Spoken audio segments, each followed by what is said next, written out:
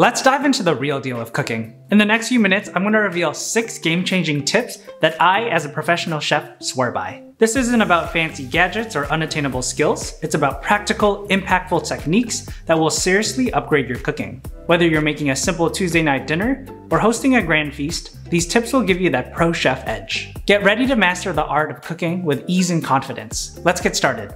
Okay, tip number one is to set up your prep station.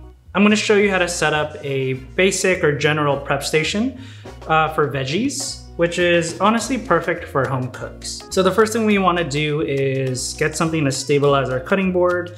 That can either be a wet rag or I have this, I forget what this is called, but holds my cutting board in place. Now here we have our cutting board, a big stable one. Next we want a scrap bowl for all the ingredients we prep then I have a wet towel here that I'll place right here, which will be helpful for sanitation, wiping down the board or wiping off the knife. Now I have a dry towel that I'll place on the right hand side. And here we can place our chef's knife, paring or utility knife, a veggie peeler, and a bench scraper if you have it, which is super helpful for picking up ingredients. Then we like to put it on the dry towel here so it doesn't slip around and kind of keeps it protected from a hard surface. And depending on how big your cutting board is, you can also place it here if you want. As long as you have some space and it doesn't kind of clutter up where you're prepping ingredients. But we'll keep it here for now. And then lastly, we want an area where we can put our prepped ingredients that we've chopped up already. You can either use deli cups with some lids, or you can put a plate or a container to hold your prepped ingredients. So just for example, let's do some carrots. So what's great about this setup is it keeps you nice and organized and very clean. So if you have your scraps bowl, instead of getting your cutting board dirty, you can peel right into it. Just do that.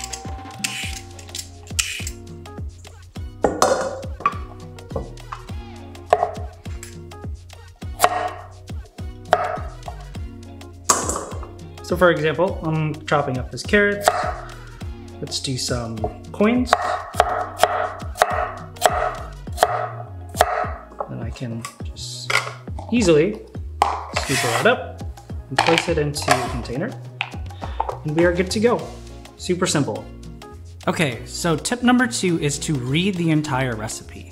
So I have the recipe here digitally. You can either print it out or have it on your computer or your phone. This first tip is about reading the entire recipe and I call this mental mise en place. So here we have the recipe. We can look at the ingredients. We got, some onion, potato, garlic, olive oil, beef for this keema curry recipe. So I have the ingredients here and have an idea of all the things I'm gonna cook with and then look at the instructions, all of it, before you start any cooking. So here I see a 12 inch nonstick pan, so I know a sense of what equipment I need. Kind of the steps, so I'm gonna saute the potatoes, the aromatics, and then transfer the veggies out of the bowl. So I can see that this is the first component here. And then return the pan to heat, cook the beef, add some spices. So that's kind of the second component. Return the cooked potatoes and onions to the beef pan, combined with added coconut milk and water. So you can see that there's kind of three components here and the different steps involved. And the reason why you wanna read the entire recipe before you start any cooking is so that you can have some foresight and memory of what to look forward to. That way, for example, say your recipe called for boiling some water or preheating the oven beforehand, so you don't miss crucial steps to be more efficient. So yes, mental mise en place. Know what to expect throughout the entire recipe will save you lots of time and stress.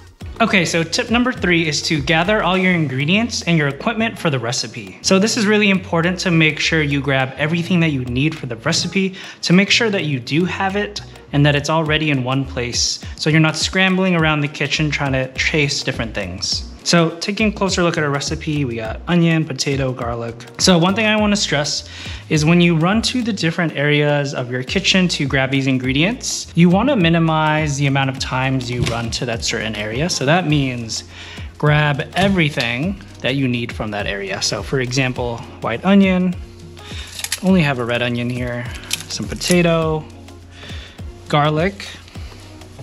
If your hands get full, it's totally fine. So I'm gonna put this back down over here. And I know that I have my tomato paste and coconut milk here as well. So I will grab all of that stuff.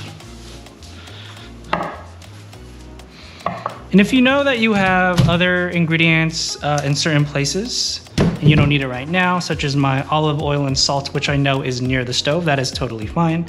So ground beef, peas, and spinach. So we'll go to the cold, go to your fridge, your freezer. So here I'm gonna grab the ground beef. And you see that I'm just kind of visiting one place one time to grab everything that I need and minimizing waste of motion, essentially and energy. I don't want to be running back and forth in a chaotic dance, wondering if I have certain ingredients, especially while I'm cooking. So next it is the spices. So the curry powder and garam masala. We keep them by each other, so that's perfect. And then the cumin, I believe is all the way up here.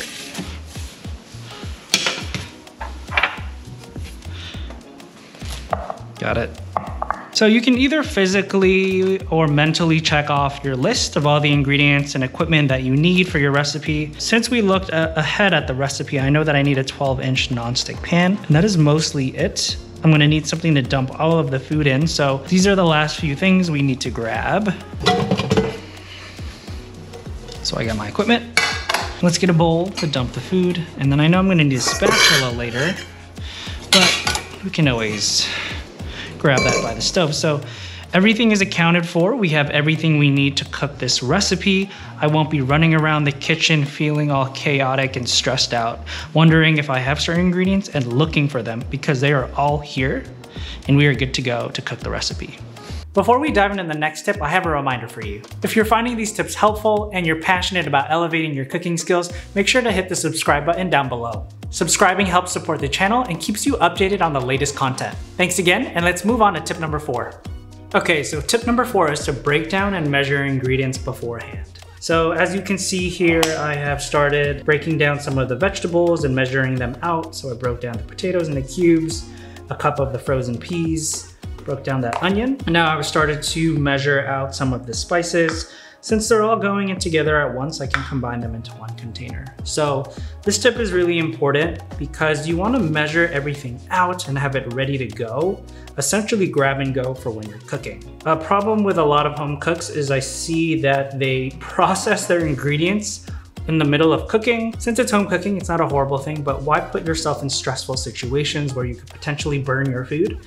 Say your chicken is cooking or your beef is cooking on the stove and you're trying to chop up your potatoes while that's going, you know, you're just kind of you're kind of creating a more stressful experience for yourself, which is super unnecessary. So measure everything out, your spices, your ingredients, break them down before you start cooking so that you can have a stress-free experience grab and go, dump it into the pan, and not worry about breaking down or measuring anything in between. Okay, tip number five is to clean as you go. As you see here, my prep station has kind of become a mess now that I've kind of broken down everything and measured things out. So clean as you go means to get rid of the things that you're no longer using, to get clutter out of the way so that you can easily and clearly move on to the next task. So for example, I don't need this deli cup container anymore, these this lid. So might as well put it away in the sink. I don't need these spices anymore, so put them away back in the pantry.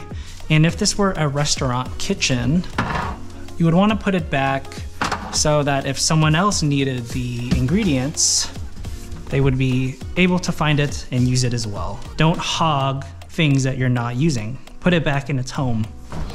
Tomato paste in the fridge. Put the garlic back.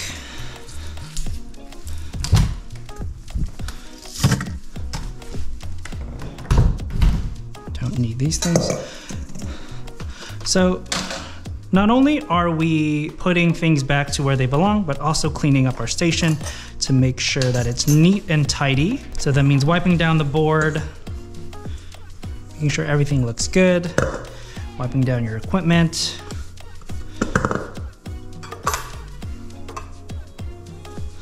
And one thing that the pros will tell you is to keep everything at a 90 degree angle.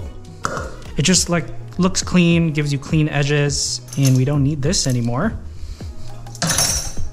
So yeah, that feels a little bit better. Uh, things are out of the way. I know what I have and what I need to cook the rest of the recipe. Uh, I might not need these yet, but just in case, I'll keep them there. And that's it. Tip number five, clean as you go. And tip number six is to label and date your food. So what you're going to need to do this is has some painter's tape and a marker. All right, so when you're done with your food and you need to pack it away in the fridge, say you're prepping to cook a meal in advance the day before or earlier, it's important to label and date your food. As I mentioned, you need painter's tape and a marker and a lid for your container. So yeah, these deli cups are really perfect for doing this kind of thing.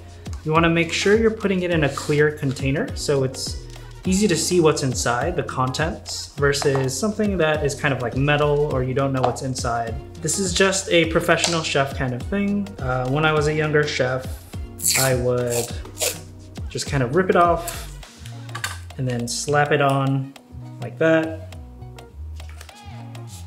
As you can see, kind of the edges are not very sharp and lined up, which kind of you know, the way you do one thing is the way you do everything. Uh, so it's not very pretty. I don't know where my scissors are right now, but I would have my chef yell at me to make sure I had clean edges. So if I don't have my scissor right now, you gotta be innovative.